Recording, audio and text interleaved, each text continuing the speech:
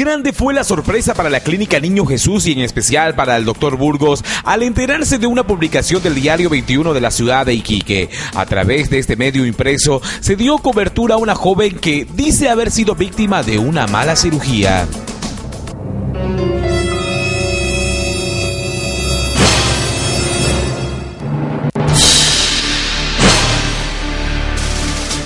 Valentina Montiel, a través de su hermana, dice haberse sometido a una liposucción que a los pocos días se le habría complicado. El doctor Burgos nos habló sobre esta polémica publicación del diario 21 de Chile.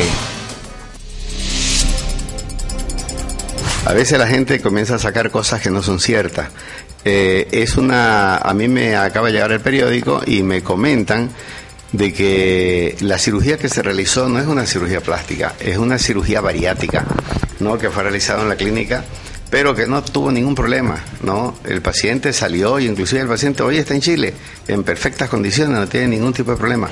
Pero lo que nos llama la atención y molesta a nosotros como cirujanos plásticos es de que dicen que fue una lipoaspiración y no fue lipoaspiración. Nosotros hicimos las investigaciones necesarias dentro de la clínica Niño Jesús como médico, que somos de aquí de la clínica de planta de la Niña Jesús, pero no fue una cirugía, una lipoaspiración, fue una cirugía bariátrica y nunca tuvo un embarazo estópico y se le complicó por eso, pero se hicieron toda la cirugía necesaria, el paciente salió bien y jamás se lo abandonó al paciente, como dicen en otros lados que sí se lo abandonó.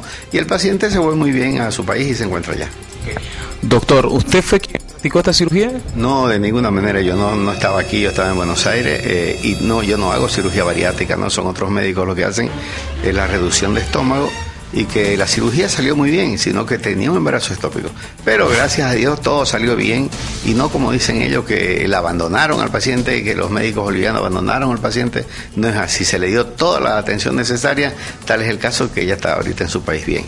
Para el doctor Burgos, toda la publicación de este diario tiene un solo objetivo, dañar la imagen de los cirujanos bolivianos. Uno tiene que cuidar su, su, gremio, ¿no? Eh, los cirujanos plásticos allá están un, un, poco preocupados porque una gran cantidad de gente chilena se vienen a someterse a cirugía, no solamente cirugía plástica Bolivia, sino todo tipo de cirugía. ¿Por qué vienen? Porque nosotros como bolivianos y como médicos plásticos o médicos de cualquier eh, especialidad, tenemos la capacidad necesaria y los elementos necesarios para operar a cualquier nivel, para operar a cualquier tipo de persona, de persona, aparte la calidad humana que tenemos y la formación profesional y las maquinarias que tenemos para hacer ese tipo de cirugía está a cualquier nivel.